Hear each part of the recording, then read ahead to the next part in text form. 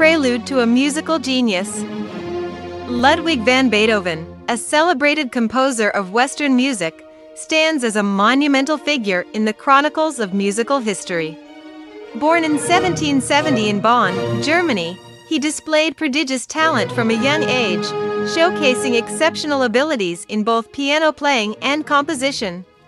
Throughout his distinguished career, Beethoven's abundant creative output encompassed an expansive and diverse range of musical styles, including symphonies, concertos, chamber music, and songs. His bold and inventive approach to musical form set his work apart, transcending conventional limits and setting the stage for future composers to follow in his footsteps. Facing a multitude of personal hardships, such as hearing loss and financial difficulties, Beethoven persisted in creating music that was both exquisite and deeply emotive.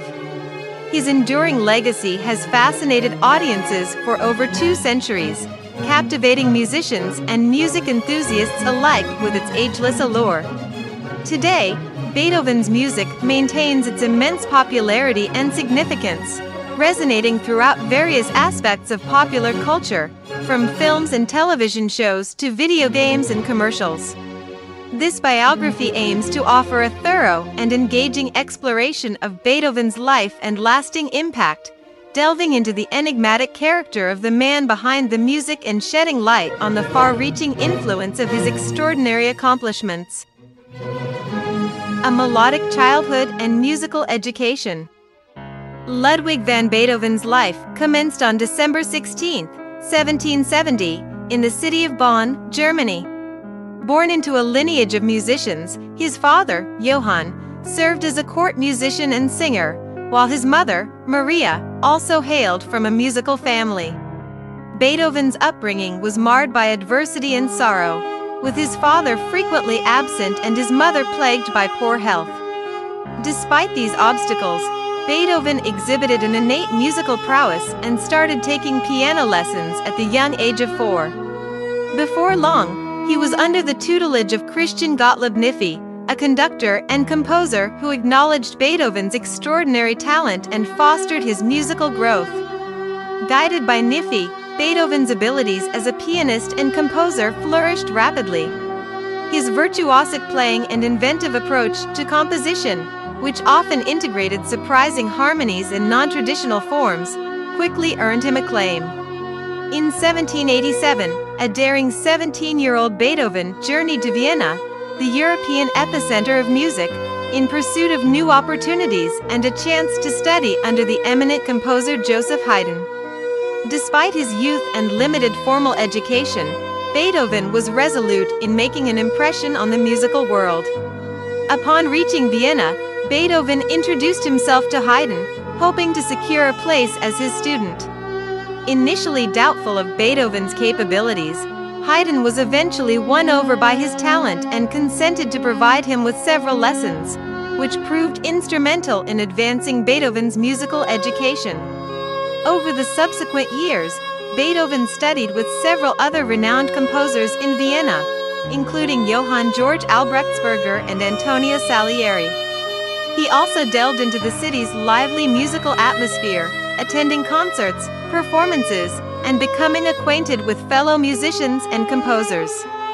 During this period, Beethoven continued to hone his skills as both a pianist and composer, experimenting with novel techniques and forms while cultivating his distinct musical voice. His early compositions, such as Piano Sonata No. 8, Op. 13, and Symphony No. 1, showcased an impressive level of ingenuity and sophistication, solidifying his status as an emerging luminary in Vienna's musical landscape.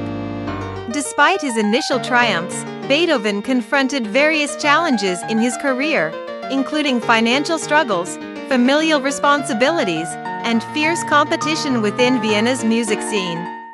However, his talent and tenacity ultimately garnered recognition and praise, laying the foundation for the extraordinary career that awaited him early adulthood and artistic pursuits. Despite his remarkable talent and unwavering resolve, Beethoven encountered numerous obstacles as a young composer attempting to make his mark in the highly competitive music scene of Vienna. Lacking connections or a family fortune to support him, he had no choice but to depend entirely on his own abilities and diligence to forge his reputation. Initially, Beethoven struggled to gain a foothold in the exclusive Viennese music circles, as he was perceived as an outsider and an upstart by numerous established composers and patrons. Undeterred, he persevered, working relentlessly to refine his craft and create works of extraordinary beauty and inventiveness. During this period, Beethoven composed several renowned pieces that showcased his exceptional skill and garnered him acclaim. Among these are the Moonlight Sonata, an eerily enchanting piano piece that highlights his mastery of melody and emotion, and Fidelio, a stirring opera that delves into themes of justice, liberty, and heroism. Symphony No. 5 and iconic masterpieces Symphony No. 5 in C minor, Op. 67, stands as one of Ludwig van Beethoven's most renowned and revered compositions. Created between 1804 and 1808, this symphony debuted in Vienna in December of the latter year. Its powerful and striking four-note motif opening has become one of classical music's most instantly recognizable themes.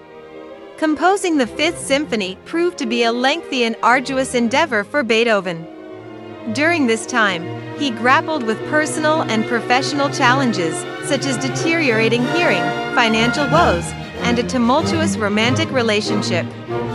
Nonetheless, he remained steadfast in his creativity, infusing his music with his emotions and struggles. Some of his most distinguished works include the Moonlight Sonata, the Emperor Concerto, and the Opera Fidelio. The Moonlight Sonata, officially titled Piano Sonata No. 14 in C-sharp minor, Op. 27, No. 2, is an enchanting piece that exhibits Beethoven's aptitude for conveying profound emotion through music. Composed in 1801, it was dedicated to Beethoven's student, Countess Giulietta Guicciardi. The first movement of the sonata is arguably the most famous, characterized by its gentle, mesmerizing melody and melancholic tone. In the Moonlight Sonata, Beethoven employs an innovative approach to harmony and structure, using nuanced shifts in key and tempo to generate a dreamlike, ethereal ambience. This piece demonstrates his ability to evoke potent emotions and moods through his music and has become one of the most cherished and recognizable works in the classical repertoire. The Emperor Concerto, formally titled Piano Concerto No. 5 in E-flat major, Op. 73, is another of Beethoven's celebrated compositions. Crafted in 1809, it was dedicated to Archduke Rudolf of Austria, a patron and friend of the composer. The concerto is acclaimed for its grandiosity and intricacy, featuring virtuosic piano sections and orchestral accompaniment. Fidelio, the opera, embodies Beethoven's unwavering artistic vision and political ideals. Composed between 1804 and 1814, the opera narrates the story of Leonore, a woman who disguises herself as a man to liberate her husband from wrongful imprisonment. The opera extols freedom, justice, and human dignity, garnering praise for its emotive music and inspiring message. It highlights Beethoven's dedication to social justice and his faith in the capacity of individual courage and determination to bring about change in the world. Throughout his oeuvre, Beethoven continually transcended the limitations of traditional musical forms and styles, experimenting with innovative techniques and expressing his distinct artistic voice. Beethoven's deafness and personal journey. One of the most heart-rending events in Beethoven's life was the gradual deterioration of his hearing, which began in his late 20s and ultimately led to total deafness. This affliction not only profoundly impacted his personal life, but also his musical career. As a gifted pianist, Beethoven's deafness hindered his ability to perform and collaborate with other musicians.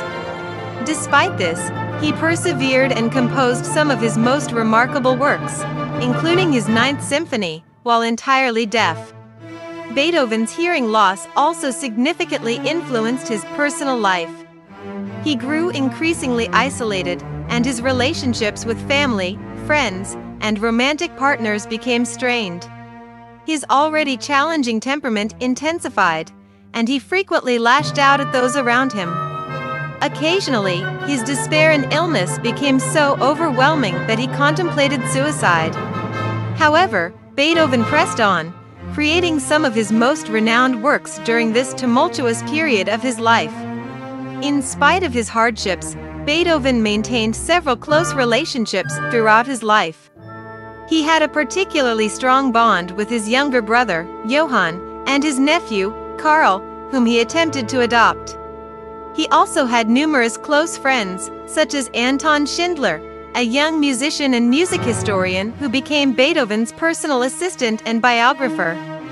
Beethoven experienced several romantic relationships as well, though none led to marriage. Perhaps the most famous of these was his immortal beloved, an enigmatic woman to whom Beethoven penned a fervent love letter in 1812. The identity of this woman remains uncertain, but theories propose that it could have been Antonie Brentano, a married woman with whom Beethoven shared a close friendship. In summary, Beethoven's personal life was characterized by immense suffering but also by tremendous creativity and determination. Despite his deafness and complex personality, he continued to compose some of the most cherished works in the classical music repertoire. His legacy as a musical prodigy and a symbol of the indomitable human spirit remains unparalleled. Late period and enduring legacy. Beethoven's late period is widely regarded as one of the most groundbreaking and profound phases of his illustrious career. Despite his deteriorating hearing and waning health, he persevered in creating a series of extraordinary works that expanded the horizons of musical expression and technique.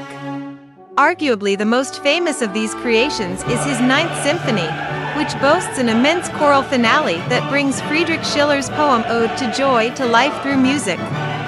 The symphony is a tour de force of emotional intensity, harmonic intricacy, and inventive orchestration, remaining one of the most adored and frequently performed works in the classical repertoire.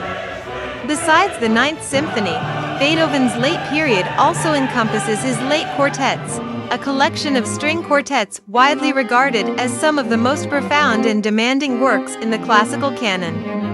These quartets are distinguished by their unconventional forms, intricate textures, and exploration of themes such as transcendence, spirituality, and human suffering.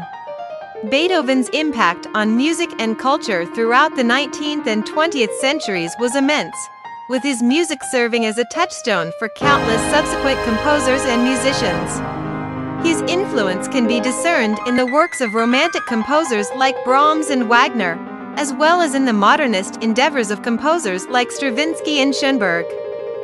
Beyond his musical influence, Beethoven also became a lasting symbol of artistic genius and creativity, with his image and persona inspiring innumerable writers, artists, and filmmakers. His poignant life story, marked by struggles with deafness, illness, and personal relationships, has made him an emblematic figure of the Romantic era. His music continues to enchant and inspire audiences worldwide. In a time dominated by technology and the pursuit of instant gratification, Beethoven's music serves as a reminder of the lasting significance of human creativity and the timeless allure of art that resonates with the depths of our souls. As we continue to cherish and honor Beethoven's life and enduring legacy, we are reminded of the importance of following our passions and employing our talents to make the world a more beautiful and inspiring place.